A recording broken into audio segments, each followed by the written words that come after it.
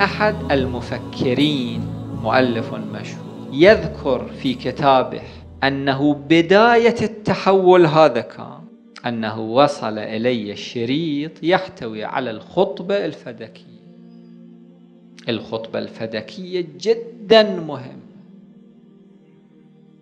وسابقا الأطفال الآباء كانوا يحفظونهم الخطبة الفدكية. حفظ كثير من الخطباء كانوا يحفظون الخطبة الفدكية.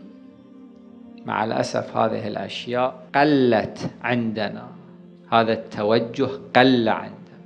الخطبة الفدكية جدا مؤثر.